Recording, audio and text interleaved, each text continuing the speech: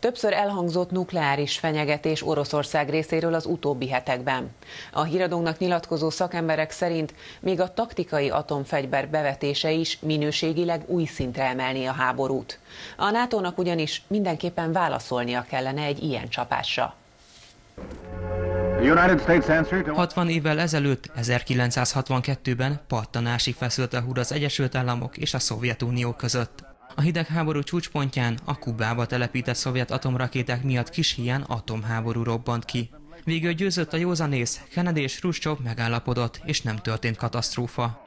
Joe Biden amerikai elnök szerint most ismét reális az atomháború veszélye, mert orosz részről visszatértek a fenyegetések.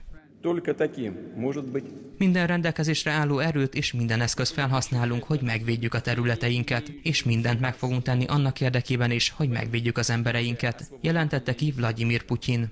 A biztonságpolitikai szakértő kiemelte, az atomfegyver bevetésének egyelőre nincsen konkrét jele. Valaki mondjuk nukleáris csapásra készül, akkor a vezetés bunkerbe vonul vissza, akkor a hadászati csapásmérő erőket, ugye az úgynevezett oroszoknál ezek az úgynevezett kozmikus erők, ezeket riadó készültségbe helyezik.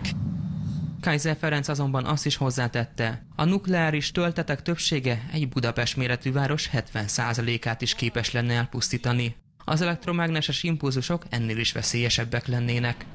Ez az úgynevezett elektromágneses impulzus, ez akár 100 kilométeres körben minden elektronikus eszközt, ami be van kapcsolva, vagy ami rá van kötve a hálózatra, tehát ilyen standby üzemmódban van, azt az összeset kisüti.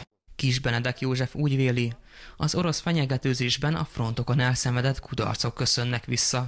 Hogyha egy oroszlán beszorítják a saruba, akkor az védekezik. Ebben a helyzetben van Putyin, hozta azt a döntést, ami a tartalékosok bevonultatására vonatkozik, e, sorozatos vereséget szenvednek Ukrajnába. A szakértő azt is hozzátette, végveszély esetén az orosz doktrina szerint akár az atomeszköz is alkalmazható, de ennek egyelőre kicsi a valószínűsége.